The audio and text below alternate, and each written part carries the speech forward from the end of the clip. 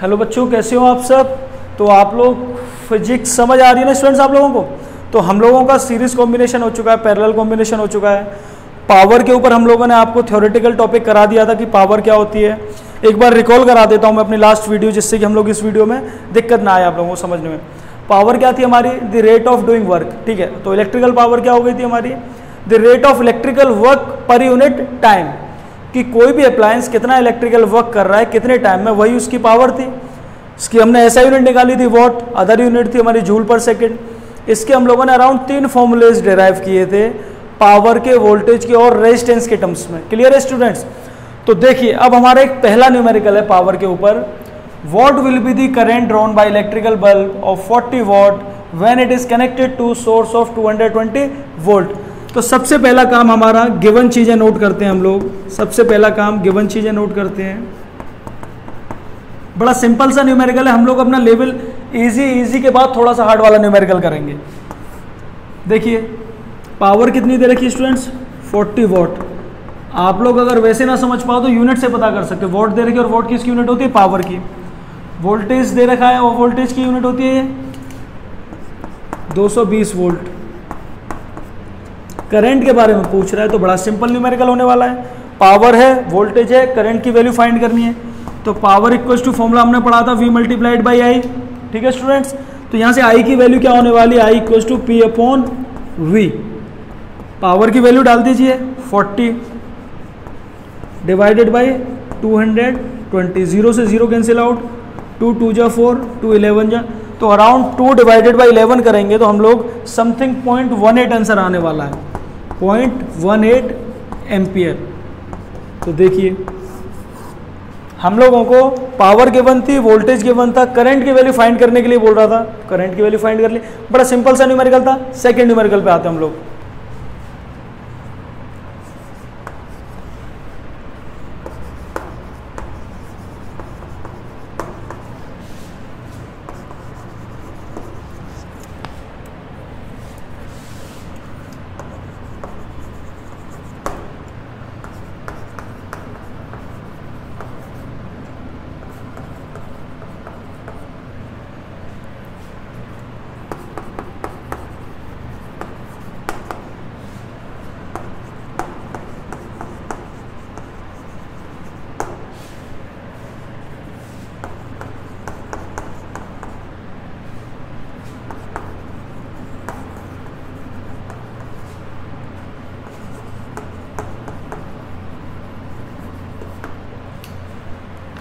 तो देखिए स्टूडेंट्स ये हमारा कुछ न्यूमेरिकल है।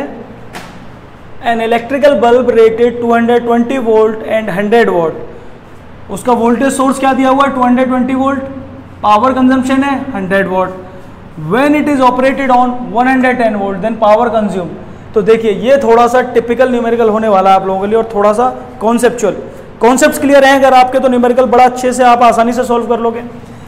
एक इलेक्ट्रिकल अप्लायंस के बारे में बात की जा रही है। जो कि अगर 220 वोल्ट की सप्लाई पे कनेक्ट किया जाता है मतलब वोल्टेज सोर्स उसका कितना है अगर 220 वोल्ट तो वो पावर कितनी कंज्यूम करता है? 100 वोल्ट और उसके बाद इसमें सेकंड केस बोला गया कि अगर इसको 220 की बजाय 110 वोल्ट पे कनेक्ट करें, समझ रहे हो मेरी बात?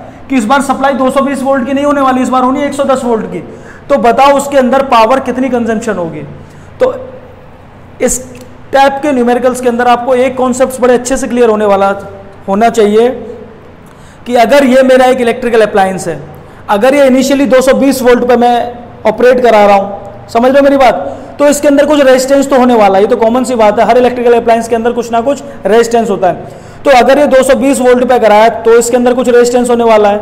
अगर मैं इसे 220 वोल्ट की जगह 110 वोल्ट पे ऑपरेट करूँगा तो भी इसका रेजिस्टेंस सेम रहने वाला है। रेजिस्टेंस के अंदर कोई भी चेंज नहीं आएगा।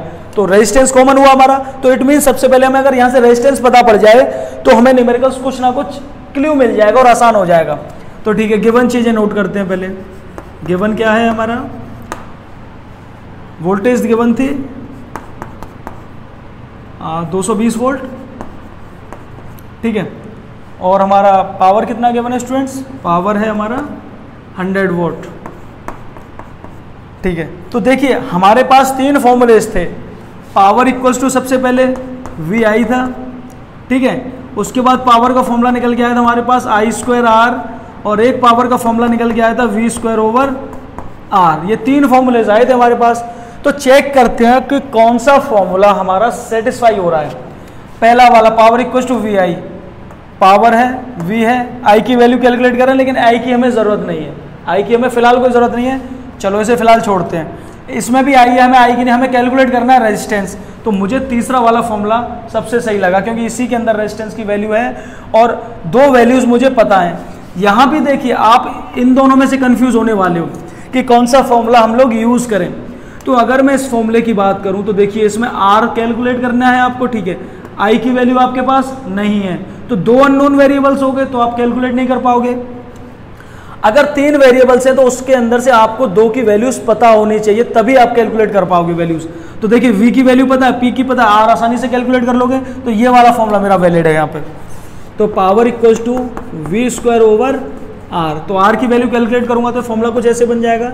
R equal to V square over P it means V की वैल्यू है स्टूडेंट्स 220 वोल्ट 220 और square means 220 hundred twenty into two hundred twenty divided by power है हमारी 100 ज़ीरो से ज़ीरो कैंसिल आउट ज़ीरो से ज़ीरो और 22 टू इंटू ट्वेंटी टू होता है स्टूडेंट्स 484 तो ये आंसर निकल के आया मेरा 484 ओम ये रेजिस्टेंस की वैल्यू निकल के आई। अब ये रेजिस्टेंस मेरा सर्किट में फिक्स रहने वाला, ये वैल्यू चेंज नहीं होगी। तो केस सेकंड की बात करूँ तो केस सेकंड क्या बोला है उसने? देखो ये रेजिस्टेंस तो हमारा सेम रहेगा, अब रेजिस्टेंस कितना रहने वाला है? 484 ठीक है? सेकंड केस में when it is operated on power कितना दे दिया? सॉरी वोल्टेज सोर्स कितना बता दिया? हमारा 110 वोल्ट का। तो वोल्टेज हो गई हमारी 110